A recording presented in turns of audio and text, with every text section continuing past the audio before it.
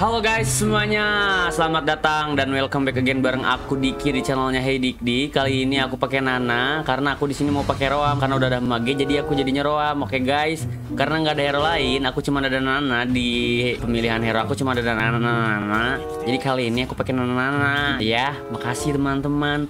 Langsung kita ke gameplaynya aja, let's go.